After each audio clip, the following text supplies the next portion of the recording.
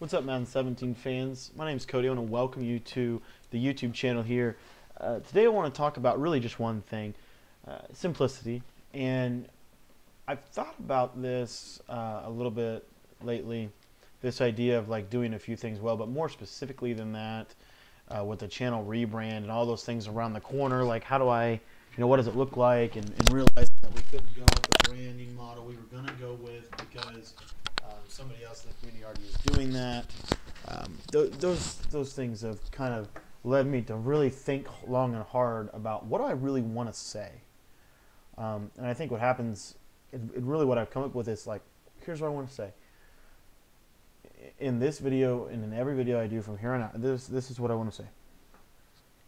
Do the best you that you can do.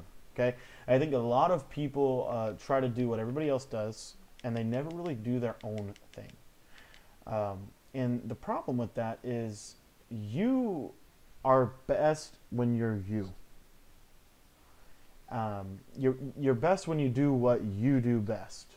And I, I don't know if that really makes sense to you guys. What I'm really trying to say and get it across in the Madden sense is what you're going to see today is, is, is 4 3 under on defense. You're going to see gun bunch on offense. You, you may see uh, a couple of different things on, on our red zone. But by and large, you're going to see those are the two formations you're going to see. You're probably going to see me run six plays uh, on defense and um, six plays on offense, something like that.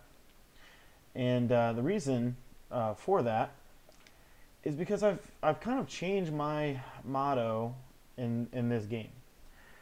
I, I would really like to do spend more time on this, and I'll spend more time on this in the future. Um, what you'll find, uh, hold on one sec, let me, let me get this stop here.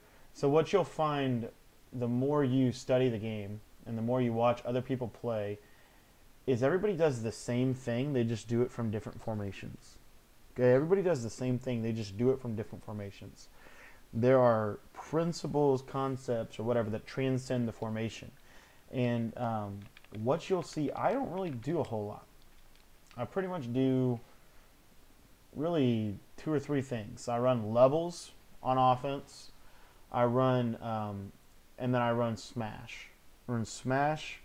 I run levels, and I run this other concept. It's like a dig, uh, dig or dag, or I don't know how to exactly say it. It's really what it's. It's more of like a, a basically a run and shoot uh, concept. Those are the three pass plays I run and then I run halfback power, and then I run halfback dive, and then I run halfback counter. That's pretty much my, in a nutshell, that's what I run. I think that's only six plays. Um, defensively, I run cover three, cover two, uh, three deep, three under, two deep, four under, zone pressures. And that's pretty much what I do day in and day out. What I think the key is is that you try to stop everything your opponent is going to do in one play as opposed to using multiple opportunities to not only control the game, control where the, what what what can they possibly go to? What can they possibly get? What can the, the and that's I, I think we just don't think about that. So when you're playing uh, defense in Madden, uh, this is what's really fun for me. I, I enjoy I enjoy the defensive strategy and the really the hardness that defense poses, the the dilemma of like what how do I arrive at the play I'm going to run? And that dilemma really does it really does drive a lot of my questions about this like what what what really determines it? What what is like the deciding factor? Like it, because what I what I try to kind of preach and, and, and really try to really get you guys to understand is is if they you can only do so much.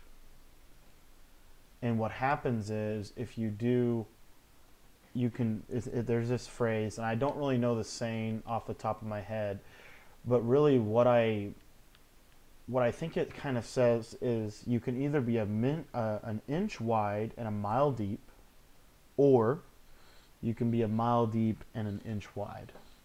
Or no, no, no, a mile wide and an inch deep. and it's a it's it's something that talks about about people. But what I've done is I've kind of really changed the conversation towards more of Madden, and what I see over and over again between with people that play this game and people really the, I think is a dilemma that you face in football. And this I'm going to use an analogy uh, or an example in a minute. I think it's going to make a lot of sense. What I continue to see people doing is reacting, not acting. And the problem with reacting instead of acting is you are at the mercy of the person who is doing the acting what I'm trying to really get across to you is I don't want you to react. I want you to go forward, not backward. And so to go forward, what I want what I want to kind of explain this I want to elaborate two things here to explain this. First thing is is uh, I want to use a real story. So I read somewhere in an article that I think 70%, somewhere in the 70s, maybe 73, something somewhere in the in the mid 70s about 70% of defensive plays, defensive formations are nickel. So like what it really means is out of out of all the snaps, out of all the time, out of all the plays that a defense is on the field, 70% of the time is spent in the nickel formation. Now, what a nickel formation is is it's is it's uh, I believe, let's see here, there's the, the, the, key to the nickel is there's three defensive backs, okay? And what it means, what it, what it, what it, the, the, the, the kind of tradition is if you come out in three wide receivers, so, you know, like a, a gun bunch, right? If you come out like this guy's in a, in a bunch formation, in theory, I should be in a nickel defense. Why should I be in a nickel defense? Here's why I should be in a nickel defense. I should be in a nickel defense because he um, because then my number of corners matches up to his number of receivers. So he has three receivers. I should have three corners. I should be in a nickel defense. Now they take this all the way up. So if you so they implemented the dime formation. So here's the nickel. Here's the dime. So four corners. Okay. And the theory is if you come out in a really like a spread package, then I should counter that by coming out in a dime package. Right? and so on and so forth. You go five wide, I should come out in five corners. That's a quarter defense. If you come out in, say, like an I formation, then that's when I should come out in a 4 3 defense because that's the personnel grouping. Here's the problem with that logic. Number one, what happens? I want you to think for a second here what happens when my, for example, the Patriots, right? So the Patriots are really built to run two tight ends, two or two tight ends and three or two receivers and a running back. So an ace package, right? That's what the Patriots are built to run. So what that would detail you to run as a defense is you would run a um, a standard 4-3 under defense. The problem is that's going to leave Rob Gronkowski to be guarded by a linebacker. Okay? Number one. Number two, what if that is the um, what if that is the Dallas Cowboys, for example, who have a really good nickel corner in Orlando Scandrick?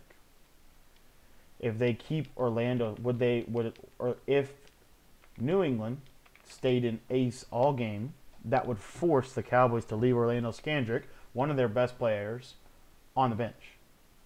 Now, that's an extreme example, but I hope it illustrates the point that, that this is this is what I'm trying to go for. Number one, why would you play dime? Why would you play a dime package if you're built to run a 4-3. Like a 4-3 under. Like like your best players, you have really, really solid linebackers. Right? Why would you run a dime? Like what what why would you do it?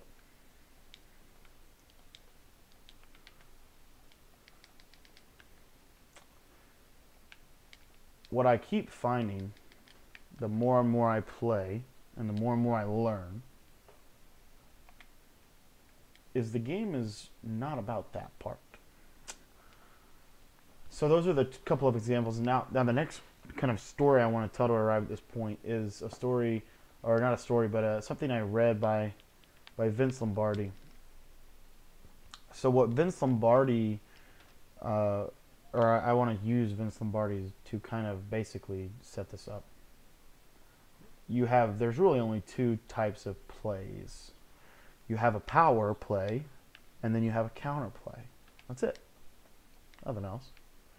You have a power play, and you have a counter play. There's a setup. So you set them up with one thing, and then there's a counter. There's a power and a counter. And so what I what I so so Vince Lombardi, for example, ran the power sweep. That was his play. That was his play. Ran it to perfection. But at the end of the day, it was simply a power play, and he had a counter to it, a trap play, or a, I think it was a trap or dive or some kind of interior run. Okay. Here's the the, the, the point is number one, there's only two types of plays, power and a counter. Number two, why would I? I don't want to ever react. I want to proact. Great run by Derrick Henry there. I don't want to ever react. I want to proact. I want to act. I don't want my opponent to dictate what I'm in. I don't want to. I, I won't let that happen. I will never call a defense because of the formation my opponent comes out in. There's tendencies. There's tendencies, right? And you can play off tendencies and find out like what do you have, you know, what do you need to take away in this situation, and, and those things are okay. But but but more. But think think beyond the, the, the, the beyond the glass. Think think think beyond the picture. Think about it like this. You, when you pick a play, like there's got to be a reason. There's got to be a reason. But your reason should not be dependent upon your opponent because if your opponent because then your opponent is dictating what you're doing. And so what what you're in danger of eventually happening, this is why I say make every play look the same. What you're in danger of happening is your opponent is going to basically force, is going to show you one thing, do a completely different thing, and all of a sudden, you're in trouble. Because if a guy came out against me on defense, right? If if he came out against me and he was running his offense and I knew he wanted to attack this section of the field. So I want he wanted to attack this section of the field. Okay? And he wanted to do it only when I was in this type of formation. Only when I was in 4-3 under baseline. Eventually, I'm going to figure that out and I'm just going to put somebody there. And I think we don't really think about that until it's too late. Because what you'll find is, the more you watch competitive Madden, here's what they do. Here's what they do. They everybody wants to get to this point. If they get to this, if they get to do this, this is this is really where they want to be. They want to run cover two. They want to send double edge pressure off the outside, so they want to use it in the middle of the field. That's what everybody that's that that's the end point for most defenses.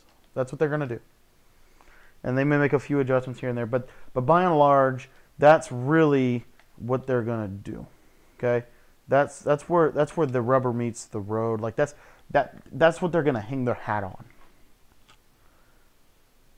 But the problem with that is what's open when you do that. Well, the middle of the field's open, the deep side. There's there's different openings. Okay, and my my point, this is really all I want to say, is why wouldn't you use multiple plays and just take away certain things? When I run cover two, so you'll watch, if you watch me play, I run Tampa 2. I start out in Tampa 2. Why do I start out in Tampa 2?